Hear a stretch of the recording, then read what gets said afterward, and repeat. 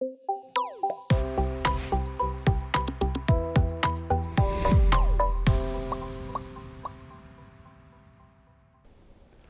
your Titan table is full of parts and you view it in simulation, you may see where a tool runs into another part. Sometimes you can edit a lead in or a lead out to make it work. Today, in Did You Know with Dan, I'll show you how. Sometimes, after moving the parts onto the table and applying your styles, you may notice that the lead in and outs of the tools may be too close to another part. And we can edit those leads even after the toolpaths are applied. In this layout, there are a couple examples of issues that we can correct. Here we see a few lead in and outs that are too close or crossing the dotted line of our table template, which could cause an overtravel alarm out at the machine. And here we have an area that the lead in and out might run into another part. We might be able to see this in simulation if the drawing of our tool is correct in AlphaCam. We won't need to move the part to resolve this issue. We can simply change the location of the lead in and lead out because the rest of the part is within the table template's boundaries. So I'm going to change the current location to a new location in this area. So I'll go change that start point in the tool direction, using the same settings as before, outside, clockwise, and manual. Now I'll select my new start point by clicking on it. The easiest way to change the leads to that new location is to update the toolpaths. Here in Operations, we should see some toolpaths change to a blue color with the asterisk or star in front of them. This is showing that the geometry has changed. And when we choose Update Toolpaths, we'll see that they get reapplied, and our new start point is taken into effect. Another area of concern was the right side of this part. Here, the leads are going to or past the boundaries of our table template. This could risk getting a machine over travel alarm. So I'm going to move this part over to the left a bit. I find it the easiest to only select the geometries to be moved, which I'll do by making sure that I have all geometries selected, even if I may grab a toolpath or two. Because if I do, I can easily choose to select only the geometries. And then I'll click and slide this piece over a little to the left. And we should see that we have the option to update the toolpaths again. After moving that part, I may have created another area of concern. This tool could be coming out too close to this part. The only way I'll know for sure is if I know an accurate size and shape of the tool. If I look at that tool in my tool library, I can see that the diameter listed is 3.345. And this is the largest diameter of that set of seven. That diameter came from the drawing of the tool when you entered it into AlphaCam's tool library. There are a few things we'll need to know when referencing this tool.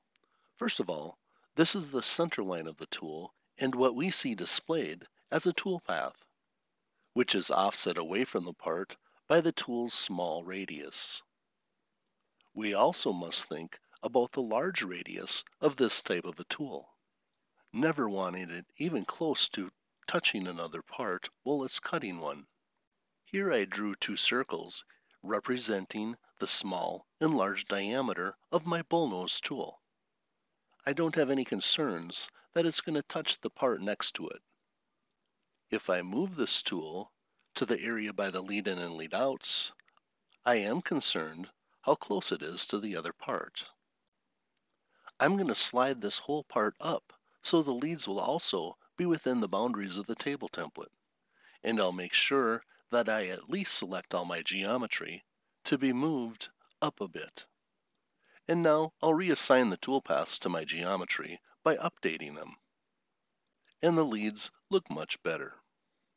Next I'll take a look at the leads on my flats and seams that use my Z-wheels. These tools can be represented with one circle. I'm going to change the angles of my lead in and lead outs with the icon on my machine tab. I'll start by changing the two toolpaths on my flat polish. For this first example, I'll use the manual method and I'll set the lead in to both and the lead out to both. Then as prompted, I'll choose a toolpath to edit. And I first choose a start position for the lead in. And now I have to choose a new position for the lead out because I have it selected in the edit screen.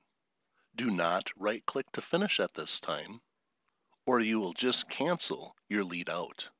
And the tool will raise at the end of the toolpath, which could damage your material, your tool, and your machine. I'll select this toolpath again to edit it properly. And pick a location for my lead in, and then also pick a location for my lead out. And I'll do this with the other toolpath as well. Make sure when you're choosing a location that you leave it long enough so that the arc and line are tangential and not kinked as shown. This could cause cutter compensation alarms at the machine. So I'll select the toolpath again to pull the leads out into a proper location. It looks like I only need to change the lead out on this toolpath. The lead in is fine.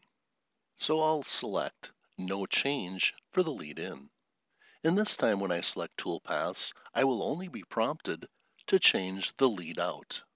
I'll use this manual method to change the other toolpaths as well. I'll have to adjust the settings accordingly. In this case, the lead ins and not the lead outs. There are eight tools total on this bullnosed edge. So I'm going to use the auto method to change them all at once. I want to change both the line and arc of the lead ins, and I don't need to change the lead out. I'll use my standard 1.5 settings for my line and arc, but I'll choose a very gradual angle for my lead in. So I'll use a low number, maybe 15. And then I can choose all the toolpaths at once so they all change the same. And when your changes are completed, you can close out of the editor. So you can review and post your program as normal. Thank you for watching. Now you know what I know. One more thing.